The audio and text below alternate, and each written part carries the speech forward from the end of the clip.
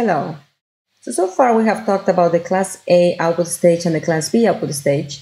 Class A output stage was characterized by transistors that were always on, even when the load was not drawing any current. And so therefore it had the worst uh, power efficiency, but the transistors were always in the linear region of operation and therefore it had good linearity versus the class B output stage where uh, the quiescent current through the transistors was essentially zero and the transistors were only conducting when an input signal uh, was applied to the circuit.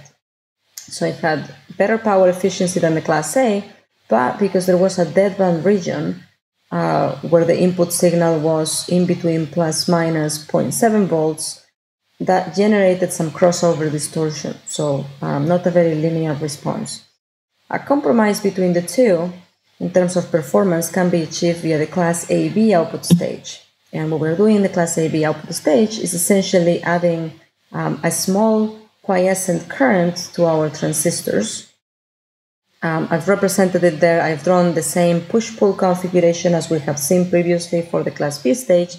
But notice that now I have included some biasing voltages um, connected to the bases of the QN and QP transistors, um, which are labeled uh, VBB halves applied to the base of QN and negative VBB halves or VBB halves below Vin to the um, to the base of QP.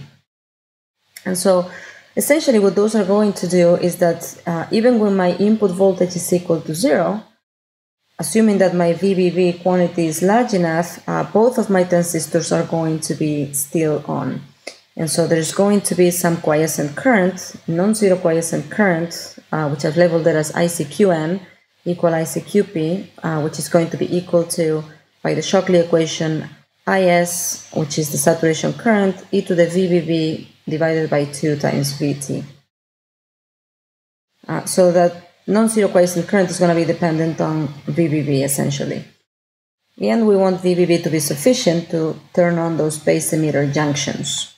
So I've drawn here uh, in those three plots on the right hand side what's going on with the uh, currents as the input voltage changes. So notice the first plot represents the input voltage applied over an entire cycle versus the angle, so from 0 to 2 pi.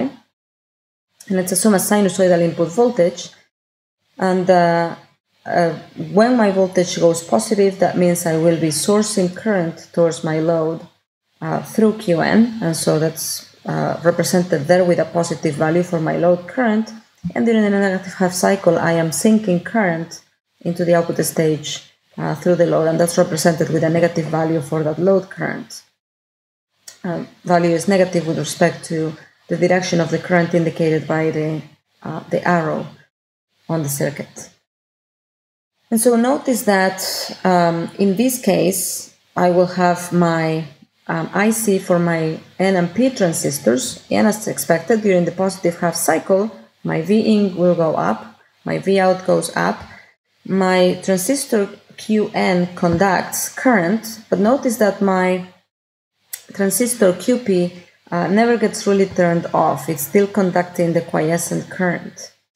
And then as my input voltage reaches zero, you can see that both transistors are conducting and uh, there is a, a, crossing over period there where um, it's, it's a very smooth transition between the current through the N transistor, through the NPN transistor decreasing, and the current through the PNP transistor increases uh, so that the transition from one to the other is a smooth transition.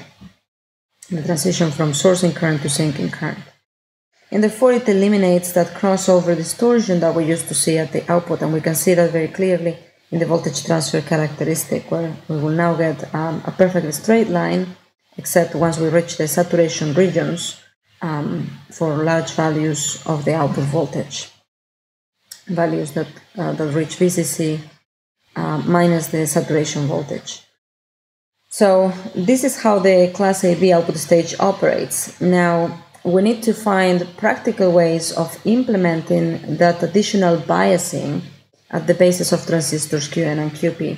And there are uh, different ways of implementing such biasing scheme.